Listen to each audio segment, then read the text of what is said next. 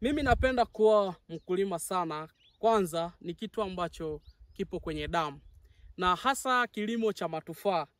Kilimo cha matufaa inaninufaisha sana, kwanza kuendesha familia yangu, na pia kila, kila tunda moja kwa kila siku unafukuza daktari kwenye nyumba yako, kwa sababu hapo unapunguza gharama ya endeshaji wa maisha. Zile hela ambazo zingeenda kwenye matibabu unaitumia kwenye vitu vingine.